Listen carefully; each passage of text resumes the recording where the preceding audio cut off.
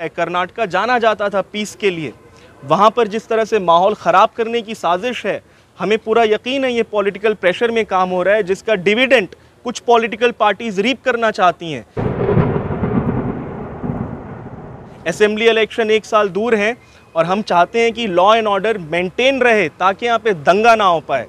अगर law and order maintain नहीं रहा तो दंगा होने के भी इम्कान हैं और इम्कान हैं। और अगर वो होता है तो उसकी ज़िम्मेदार लॉ एजेंसीज होंगी जो अपनी ड्यूटी में फेल कर चुकी होंगी। आप आप लोगों को हमने इधर इसलिए बुलाया बताने के लिए कि कुछ दिनों पहले हिंदू जना जागृति समिति के चंद्रू मोहन जो कोऑर्डिनेटर है मोगर उन्होंने ये बोला कि मुसलमान जो फ्रूट सेलर है फ्रूट वेंडर है जो फल बेचता है बोला कि वो लोग इकोनॉमी जो है अपना सबोटाज करके मोनोपोली कर रहे हैं।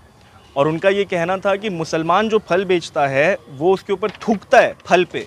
और उसको उन्होंने थूक जिहाद का नाम दिया और इसने ये रिक्वेस्ट किया कि हिंदू भाई सिर्फ़ हिंदू से फल खरीदे। इस चीज़ को हम मानते थे कि कॉन्स्टिट्यूशन के ख़िलाफ़ है और हमने ये समझा कि इसके ख़िलाफ़ पुलिस ने एक्शन क्यों नहीं लिया। जब पुलिस ने एक्शन नहीं लिया तो मेरे, मैं, मेरे साथी खिज़र भाई और वसीम राजा भाई, हम तीनों संजय नगर पुलिस स्टेशन गए और वहाँ पर हमने कंप्लेन दिया। अव्वल तो वहाँ पर जो इंस्पेक्टर थे, बलराज, उन्होंने ये कोशिश करी कि पहले हमें कन्विंस किया जाए कि फ्रीडम ऑफ़ स्पीच होता है। जब हमने उनको बताया कि फ्रीडम ऑफ़ स्पीच को एक्सप्लॉयट नहीं किया जा सकता तो बलराज सर ने बोला कि हम आपको लीगल ओपिनियन लेते हैं। उसके बाद जब उन्होंने लीगल ओपिनियन की बात करी तो हमने उनसे बोला कि, सर, ये कॉग्निजेबल ऑफेंस है। यहाँ पर हमारे इकोनॉमिक बॉयकॉट की बात चल रही है, जो कि यूनाइटेड नेशंस का जेनोसाइड का आर्टिकल नंबर टू अगर आप देखते हैं, वो क्लियर कहता है कि इकोनॉमिक बॉयकॉट भी जेनोसाइड का हिस्सा है। तो हमने उनसे बोला कि, आप इसको कॉग्निजेबल ऑफेंस ट्रीट करिए। उन्होंने तब भी हमसे बोल दिया कि, हम आपको लीगल ओपिनियन के बाद बताएँगे। जब हमें ये बात बोली गई तो हम कमिश्नर साहब के पास गए कमल पंत साहब के पास। कमिश्नर साहब ने हमें टाइम दिया और कमिश्नर साहब ने हमारी कंप्लेन को पढ़ा और उसके बाद उन्होंने हमें एक सील्ड एनवलप दिया। और उस सील्ड एनवलप में क्या लिखा था हमें नहीं पता। कमिश्नर साहब ने हमें राय दी कि आप इसको डीसीपी नॉर्थ के पास ले जाइए और इस सील्ड एनवलप को उनको दीजिए। हमने उनसे पूछा कमिश्नर साहब से भी कि, सर एफआईआर क्यों नहीं हो रहा है? उन्होंने कहा, आप ये ले जाकर दीजिए। और उन्होंने कुछ भी नहीं बोला। हम वहाँ से निकल कर गए डीसीपी नॉर्थ साहब से हम उसी दिन मिले। डीसीपी नॉर्थ साहब विनायक पाटिल साहब के यहाँ जब हम पहुँचे, उन्होंने वो एनवलप खोला और उस एनवलप को पढ़ा और उन्होंने अंग्रेज़ी में बोला वी विल एग्जामिंग इट हमने उनसे वापस सवाल किया कि, सर, एफआईआर कब होगा? क्योंकि इस पर एफआईआर होना था।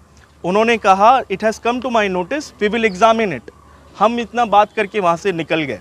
दूसरे दिन हमने मीडिया के साथियों के साथ बात को शाया किया। जब हमें ये लगा कि अब मीडिया के साथ हमें बात करनी चाहिए काफ़ी सारे न्यूज़पेपर्स ने इसको कवर किया। द हिंदू ने डेक्कन हराल्ड ने द वायर ने सबने इसको कवर किया। उसके बाद थोड़ा सा शायद ज़्यादा जब कवरेज इसको मिला है तो पुलिस ने हमें फिर से कॉल किया दूसरे दिन। और पुलिस ने मीडिया में स्टेटमेंट्स दिए, जो हमने पढ़ा मीडिया के थ्रू हमें पता चला कि पुलिस भी यही कह रही थी कि वो लीगल ओपिनियन लेना चाहती है। उसके बाद हमें संजय नगर से बुलाया गया, पुलिस स्टेशन से। कल रात में हमें कॉल आया साढ़े आठ बजे। और मैं बहुत ही ज़्यादा शर्मिंदगी से आप लोगों को ये बताना चाहता हूँ कि हमारी एफआईआर नहीं ली गई। पुलिस ने ये कहा है कि वो नॉन कॉग्निजेबल ऑफेंस है। यानी स्टेशन से एफआईआर नहीं हो सकता। एक इकोनॉमी बॉयकॉट करने को पुलिस ने नॉन कॉग्निजेबल बोला। आज हमारा यहाँ पर प्रेस कॉन्फ्रेंस करने का मकसद दो है। एक तो हम ये बताना चाहते हैं कि पुलिस एक लॉ इन्फोर्समेंट एजेंसी है और उनका काम है सिर्फ़ उसको लागू करना। अफसोस कि आज वो पॉलिटिकल ट्रेमेंडस पॉलिटिकल प्रेशर में काम कर रही है, बहुत ज़्यादा पॉलिटिकल प्रेशर में काम कर रही है कर्नाटका में पुलिस। और हमारी ये दरख्वास्त है पुलिस से और जो हमारे कंसर्न सिटीजन हैं उनसे कि पुलिस पॉलिटिकल प्रेशर में ना काम करे, उसके लिए आपको, मुझको भी मेहनत करनी पड़ेगी और मीडिया के साथियों को मेहनत करनी पड़ेगी। क्योंकि अगर लॉ एंड ऑर्डर मेंटेन करना है, संविधान को अगर बचाना है तो पुलिस को नॉन पॉलिटिकल प्रेशर में काम करना पड़ेगा, बिना किसी पॉलिटिकल कलर के। किसी प्रेशर में काम नहीं करना है। दूसरी चीज़ हम आपके ज़रिए से ये बताना चाहते हैं कि भले ही हमें पुलिस स्टेशन से अभी एफआईआर नहीं मिला और हो सकता है अभी हमें इंसाफ वक्ती तौर पर नहीं मिला है, पर हमें इस मुल्क के आइन पर यकीन है और हमें हमारे जुडिशल सिस्टम पर यकीन है। हम यहाँ से इन कोर्ट जाएँगे और कोर्ट में प्राइवेट कंप्लेन लेकर जाएँगे और कोर्ट से हम दरख्वास्त करेंगे कि वो इस चीज़ के ऊपर एफआईआर लॉन्च करने की ताकीद करे। ईश्वरप्पा के ख़िलाफ़ एफआईआर करने की कोशिश की गई थी जिस जहाँ पर उन्होंने मैंगलोर के केस को एक्सप्लॉइट करने की कोशिश करी थी। एफआईआर पुलिस ने नहीं लिया था। कोर्ट ने जब डायरेक्ट किया है आज उनके खिलाफ एफआईआर करी जा रही है। हमें पूरा यकीन है इन हमारे साथ भी इंसाफ करेगी कोर्ट और हमें भी एफआईआर लॉन्च कराने के लिए जो भी ज़रूरत है वो पुलिस को ऑर्डर पास करेगी। कौन है शख्स? इस शख्स का नाम है चंदू मोगर। हिंदू जना जागृति समिति के ये कोऑर्डिनेटर हैं।